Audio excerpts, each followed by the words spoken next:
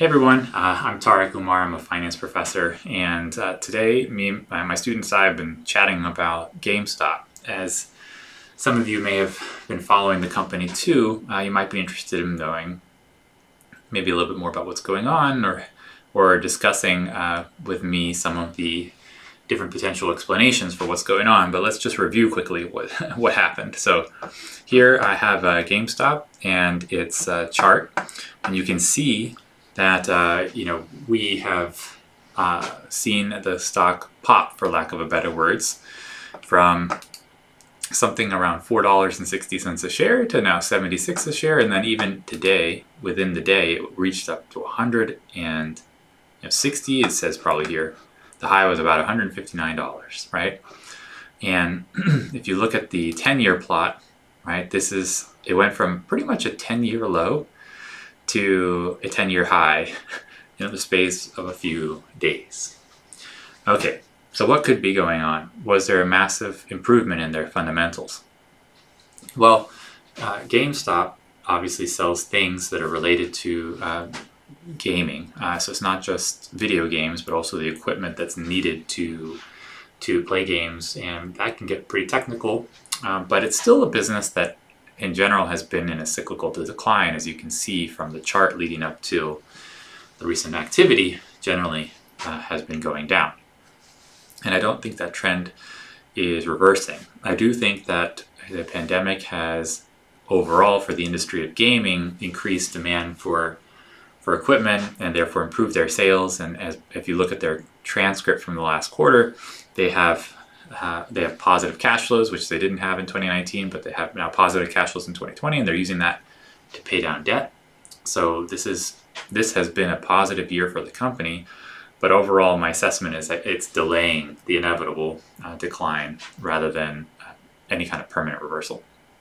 So. Uh, why is the stock jumping? You know, what's really puzzling is that actually there has been a short seller uh, named, which is Citron, that has been discussing the the reasons for their short on the stock.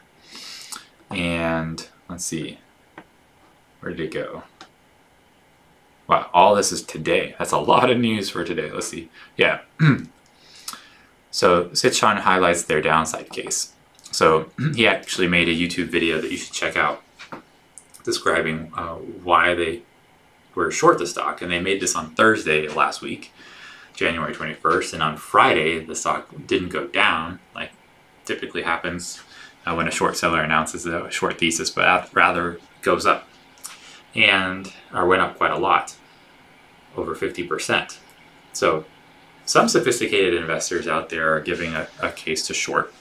Let's see what else might be going on. Let's go to the, actually I've already loaded it for you guys. So if we go to the insiders, trading activity, you can see here that in the last few days, the insiders have been taking advantage of the increase, right, from about five dollars, and by January 19th, you know, it was around 40 already, and now it hit 160 uh, today, and and you can see that they're selling, and they're selling uh, fairly sizable parts of their portfolio, and my prediction would be that if in the next few days we're going to see some Form 4s come out for additional sales. Because, uh, again, I don't think I, I, don't think that there's any evidence that uh, of a fundamental improvement that would justify this price uh, price change so dramatically. You know, what's what is a bit surprising to me, and maybe you guys have some thoughts on this below, is that you know one one one potential explanation right? Is it's a short squeeze uh, where there was a high short interest. So over, over they have 65 million shares outstanding, and over 65 million shares were short as of December 15th. You can you can uh, search for short interest, uh, and I just noticed they look at the volume here. It's 176 million shares, so that's uh, multiples of the actual shares outstanding and you've seen this in other situations like with Plug and other companies where um, they get so much attention actually from the markets uh, that you can you see this phenomena where they trade more than their shares outstanding, which is not typical. Usually, you know, one percent, two percent, or even less of of, of the shares outstanding trade in a day. Um, so this is all worrisome, right? Someone is going to be losing badly, right? So short sellers are obviously losing if they were betting that the stock was going to fall because it has instead gone up dramatically. And with shorting, you can lose an unlimited amount. So some of the, the shorts are probably in pain and may have to be cutting their losses, right? And that could be contributing to the run up. But probably what also is going on is that there has been a, a deluge of momentum traders here who are just trading on the prediction that it's going to go up. And if there's enough of a coordination, right, where actually that video from Citron could have provided some of that coordination, ironically, that uh, if the momentum traders are all piling in, and there were some Reddit blogs that could may have also added to the to this coordination, then you have a uh, even greater likelihood potential potentially of of seeing the short squeeze.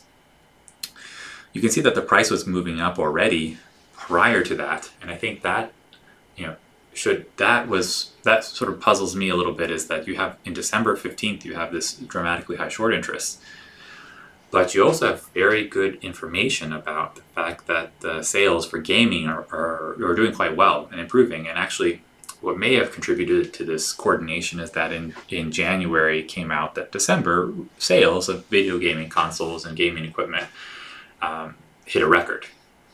That's the whole industry. It's not just GameStop, but it's probably true that GameStop's revenues and profits also did quite were quite high in December. And so that news comes out with a little bit of a lag, right? So in January, there was some news like that, and that could have contributed to shorts wanting to, to reduce their position. So what could ha- what could be going on, right, is that there's a temporary improvement in the fundamentals because of the pandemic. And that became more obvious when this news comes out in January about overall industry sales. Shorts start to unwind, longs get more interested, maybe because of the high short interest. And and then there's this coordination, right, that happens. This is after the news event, right, that this is all going on.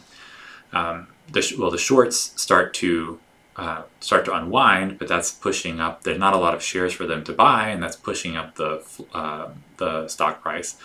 And then you start to have this run concern, right? The if I don't buy now and I let someone else buy first, then I suffer, right? Because the price goes up and I, I'm a short and I'm going to lose. So I then have an incentive to buy first. And if there's enough of that incentive, you sort of have a run, right? Instead of a bank run, right, you have a, a run out of the stock by the short sellers, which is how a short squeeze can work. And again, aggravating that incentive could be the fact that the, you know, Citron actually put out a YouTube video arguing the case for why it, it should go down right? But then that is a coordination event, right? And and the Reddit blog and others uh, have got a lot of attention on the name.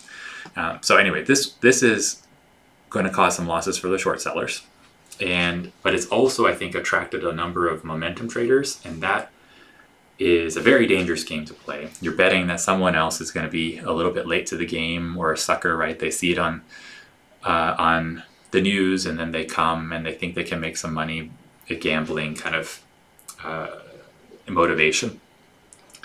But that is, you know, this is not going to, the stock price is not going to stay up here. I'm surprised it stayed up here actually today. I was predicting an implosion. But you can see on Google Trends, if you look for searches related to the ticker symbol of, uh, of GameStop, you can see that the, the search interest has exploded. And this is people who are Googling uh, the ticker symbol. Those are not the sophisticated investors. These are going to be the more mom and pop retail investors who are who are likely the ones who don't understand what's going on and, and buying buying just because there's activity. So it's a very interesting case study. I, I want to keep following it. I may update, I may provide another video, but if you have any comments on the name, I'm happy to discuss it uh, below. And please subscribe if you are more if you're interested in seeing other uh, opinions of opinion pieces on, on company names. I have I made one on Diana Shipping, for example, doing a tender offer. I'm happy to do more of them. Uh, alert me if you see something that would be interesting to discuss. Uh, and I see you guys.